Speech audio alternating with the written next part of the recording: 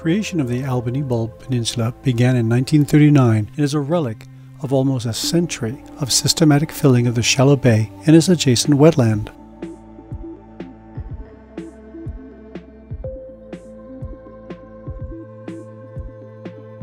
The bulb proper, the round hill at the tip of the peninsula, was created in 1963 after the city of Albany and Santa Fe, which owned the land, signed a contract for the disposal of construction debris.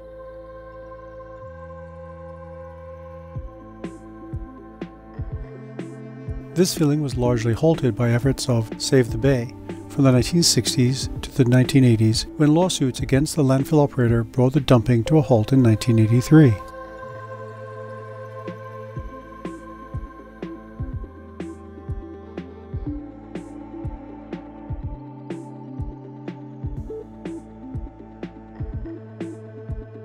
This means the bulb is made of mostly of construction debris such as concrete and rebar, all of which is still very visible.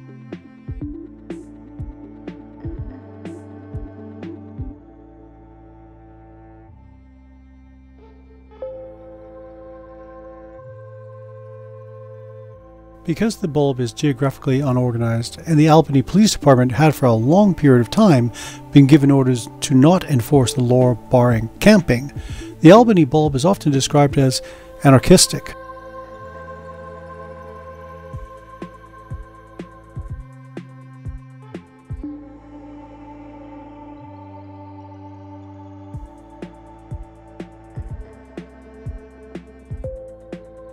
Starting in the early 1990s, the Albany Bulb was home to a community of otherwise homeless folks who lived there on and off for nearly 20 years, despite a lack of official permission from the city of Albany.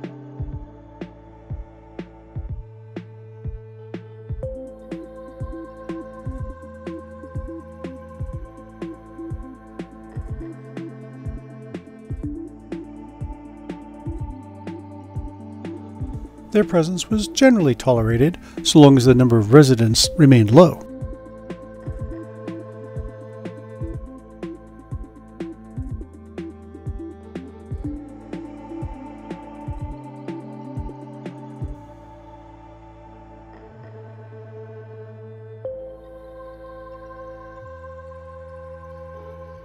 The population living on the bulb grew to approximately 50 or 60 folks in early 1999, leading to a mass eviction by the city later that summer.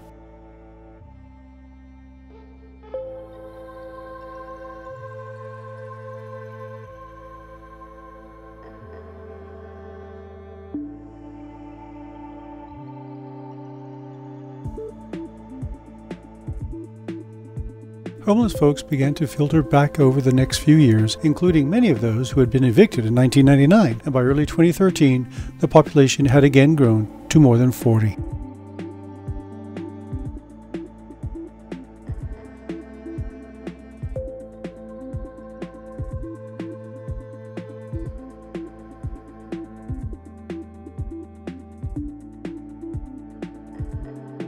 During this time, the bulb became an ad hoc public art show. Most of the works use the existing refuse found in the bulb, while some pieces are brought in.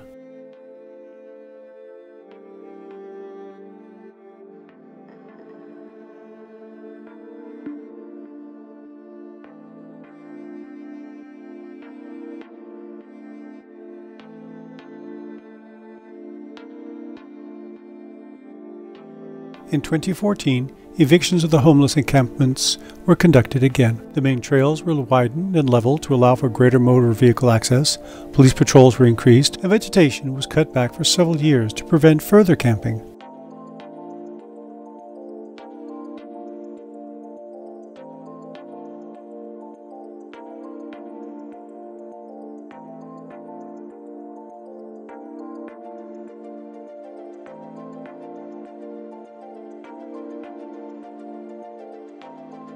In 2016, the Albany City Council approved plans to create a city park out of the space.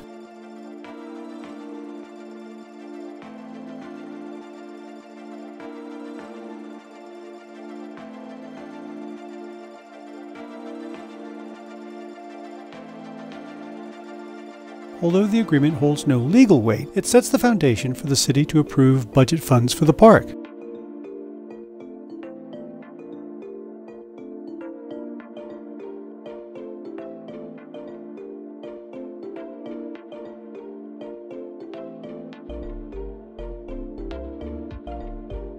Environmental protections, as well as understanding of the dangers of building on unconsolidated fill, makes it extremely unlikely the bulb will ever be developed.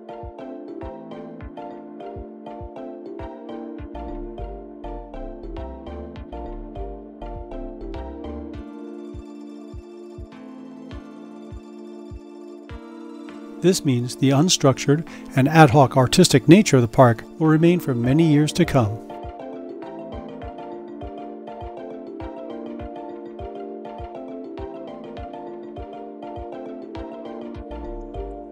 If you ever visit the San Francisco Bay Area, I highly recommend you add this to your list of things to do.